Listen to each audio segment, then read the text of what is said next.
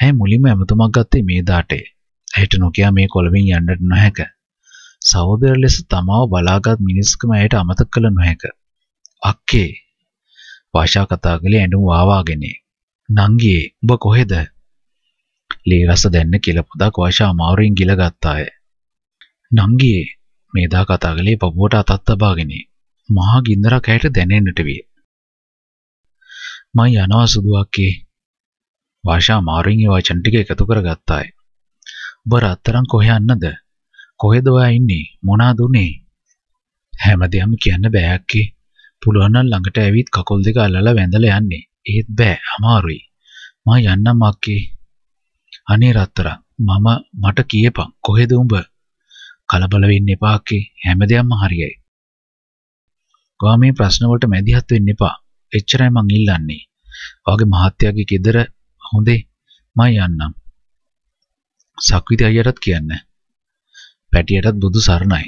මං මං මං අක්කේ වාෂාට පපුව කඩාගෙන මෙන් ඇඬුම් එද්දි ඇයි හිමම දුරකථනයේ තැබුවාය. මේ මිස් අපි කමියුනිකේෂන් එක වහන්න යන්නේ අරගෙන ඉවරද? කමියුනිකේෂන් එකේ උන් යෝතිය කීවාය. ඇයි යෝතියක් කියමු වාෂාට සහනයක් විය. මට තව කෝල් දෙකක් ගන්න දෙන්න. හා ගන්න.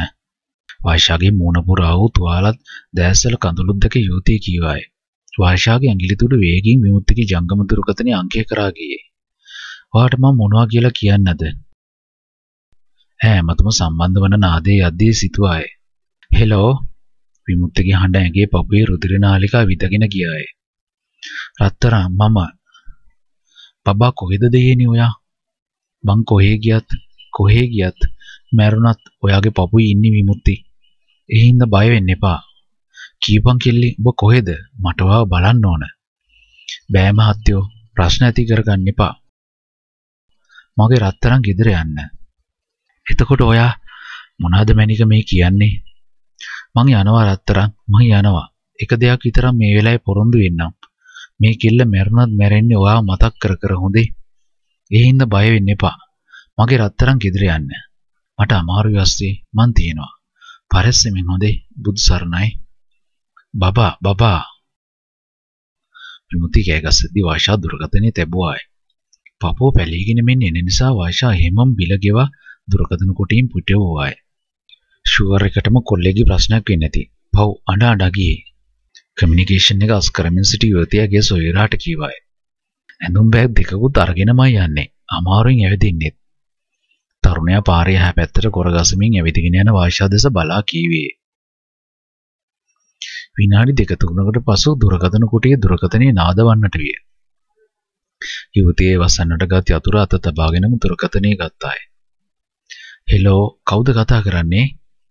අනේ පොඩි උදව්වක් කරන්න. ටිකකට කලින් ඔයාලගේ ෆෝන් එකකින් උස සුදු ගර්ල් කෙනෙක් කෝල් එකක් ගත්තා නේද? ඔව් ලස්සන. එයාව ටිකකට නවත්ත ගන්න. අනේ ලොකු උදව්වක්. මං යාගේ බෝයිෆ්‍රෙන්ඩ්. ලොකු උදව්වක් නංගි. විමුක්ති කතා කළේ පිස්සෙකුමනේ. අයියේ අර අක්කා හෝල්ට් එක පැත්තට නේද ගියේ? ඉන්නවද බලන්න. මේ අක්කගේ බෝයිෆ්‍රෙන්ඩ් කතා කරනවා. තරුණයා දුරකථන කුටියෙන් පිටතට පැමිණ පාර දෙස බැලුවේ. ඒත් වාෂා පෙන්නට උන්නේ නැත. තරුණයාට දැක ගන්නට හැකි වූයේ පාළු පාර පමණි. නෑනේ මං හිතන්නේ ආපු බස් එකේ යන්න ඇති. යුවතියගේත් බලාපොරොත්තු සුන්නිය. අනේ සෝරි එයාක ගිහින්නේ. හැබැයි හරි අමාරුවෙන් තමා ගියේ. කොරත් ගගහ ගියේ. මොනේ ලේ පැල්ලමුත් තිබ්බා. අඬ අඬ කතා කළේ. බෑග් දෙකකුත් එල්ලගෙන ගියේ. විමුක්තිගේ පපුව හොස්කා ඇවිලිනි. අතට හසුව ආයුධකින් පපුවට ඇනගෙන මැරෙන්නට තරම් දුකක් ඔහුට ඇතිවේ.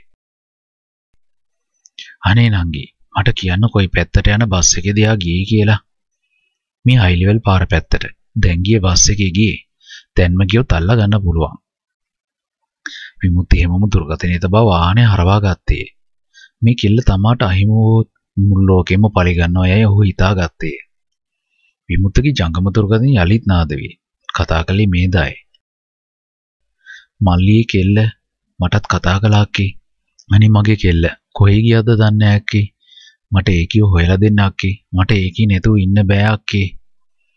විමුක්ති දුරකථනයෙන් පොඩි දරුවෙකුසේ ඇඬුවේ. මේදාගේ දිනෙත් දෙකලවරින් ගංගාවස්සේ කඳුළු ගලා යන්නට විය.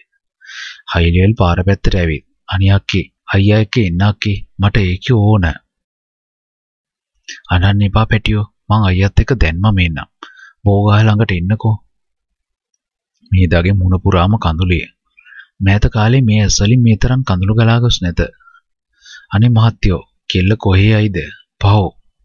ඔහොමම ඇඳුමක් දාගන්න. අපි ගිහින් බලමු. ඇඳුම ඕන නෑ. මෙහෙමම යන්.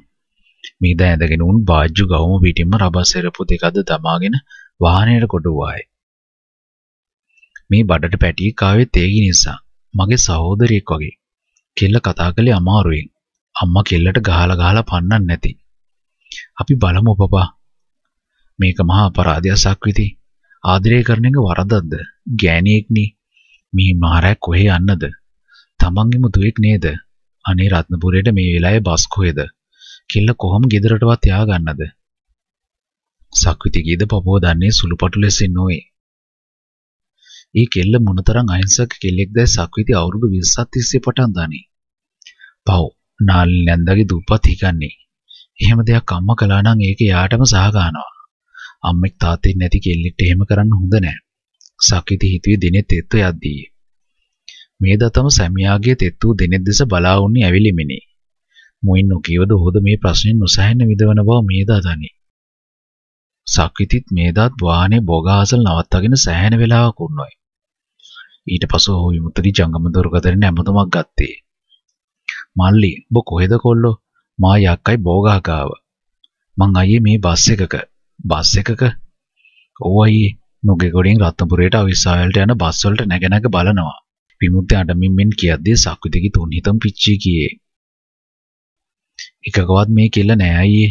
අනේ ඔබත් බලන්නකෝ අයියේ. කෙල්ලට හොඳටම අම්මා ගහලා අයියේ. ලී පෙර පෙරලු ගියේ. ලී පෙර පෙර? ඔව් එයා මට කතා කරපු කමියුනිකේෂන් එකේ ළමෙක් කිව්වේ. අනේ දෙයියනේ මම මෙතන ඉන්නම්. බලලා වරෙන් මං ටවුන් වටේ බලන්නම්. ඉක්මනට බලපන් අයියේ. කොල්ලා මෙසේ අඬමින් කියන්නේ දින උදාහත් දින අතර මැද බව සක්විති තනි. තම සොවරාගෙන උපන් ඌහුලාගත නොහැකි සහෝදර කැක්කමකින් සක්විතිගේ පපුව රිදින්නට විය. ඇයි මහත්තයෝ? ඌ බස් වලට නැග නැග පිස්සෙක් වගේ කෙල්ලව හොයනවා. අනේ පව්. කොච්චර ආදරේද කෙල්ලට? පව්. අම්මා කෙල්ලට ලේන්න ගහලා බබා. කෙල්ල ලේ පෙරපෙරිය ගිහින් තියෙන්නේ. මේදා දෑතින්ම මුහුණ වසාගෙන ඇඬුවාය. අනේ මට බෝධි පූජා කීයක් තිබ්බද? දවස් කීයක් ආස දේවල් උයන් ආවද? බලන්න ආවම ළඟට වෙලා කකුල් මිරික මිරික ඉන්නේ. පව්. දවසක් වෙයිත් මං හොද හොද හිටපු ඇඳුම් ගොඩක් අරන් හොදලා දීලා ගේ තස් කළ උයලක් දීලා ගියා. මගේ නංගි කෙනෙක්වත් මට එහෙම කරලා නෑ මහත්තයෝ. ඒකි පව්. මං දන්නවා බබා. කෙල්ලෝ අපි හොයාගමු. බැරිනුත් හෙට රත්නපුරේ යන්. ඔව් අපි යන්නම ඕන. මට මේ කොල්ලයි කෙල්ලයි දෙන්නම ගැනම දුකයි. දැන් මේක ගෙදර ගියාම ඌට තියෙන ප්‍රශ්න. ඌ ආදරය කළේ නෑරන නිසා පාරේ ඉන්න නෙමේනේ. තාත්තලාගේ පරම්පරාවම ලේනේ. සක්විති දිග සුසුමක් ගත්තේ. මේ ප්‍රශ්නෙට කොහොම මැදිහත් වෙන්නද ඔහුට තේරුම් ගත නොහැක. මේ අතර විමුක්ති බස් ශ්‍රීයෙන් බස් ශ්‍රීට නගිමින් සෙනග පීර ඇයව සොයමින් ඇය නොවුණු කළ යලිත් බසමින් තවත් බස් එකකට එතනින් නගිමින් අවසියෙන් මෙන් දුක් විඳී. ඔහු රත්නපුර බස් තුනකම ඒව සෙව්වේ. අවසානට ඔහුට අමෝ රත්නපුර බස් ශ්‍රී රීදුරු අසුන් ළඟටම ගිය විමුක්ති රීදුරුට ලං විය. මේ අයියේ පිටකොටෙන් අන්තිමට තියෙන රත්නපුර බස් එක කීයටද තියෙන්නේ? අපි තමා අන්තිම ටර්න් එක ගැව්වේ. ආය රත්නපුර බස් පාන්දර පහ වෙනකල් නෑ. විමුක්තිගේ බඩපපුව දාගෙන ගියේ. ඔබ කොහෙ ගියාද නංගී? ඉක්මනට මට ඔබව පෙනියන්. විමුක්තියේ බස්සෙන්ද බිමට පනිමින් සිටුවේ. අයියේ මාර්ගමට එනවද? මම බස් එකෙන් බැහැලා මාර්ගම ඉන්නේ. කෙල්ල උන්නද මල්ලි? කෙල්ල නෑ අයියේ. මම රත්නපුරයට යන අන්තිම බස් එකෙත් බැලුවා. අනේ ඒකි නෑනේ අයියේ. අඩන්න එපා කොල්ලෝ. ඔබ යූත් එක ගාව ඉඳපන්. මං එන්නම්. මට ඒකේ හොයලා දීපන් අයියේ. විමුති අවසානට අඬමින් කිව්වේ ඒ ටිකේ. සක්විති හිම වාහනේ හරවා ගත්තේ. මේ කෙල්ල බබා ගෙදර ගියේ නැත්තම් ඇයි? මල්ලි රත්නපුරයට යන හැම බස් එකම බල්ලා. අන්තිම එකෙත් බල්ලා. දෙයියනේ කෙල්ල කොහෙ ගියාද? මේ දා වාහනේ ඉඳගෙන බාරයක් වුවායි. හැමදාම ඔබ මට බාර වුණා.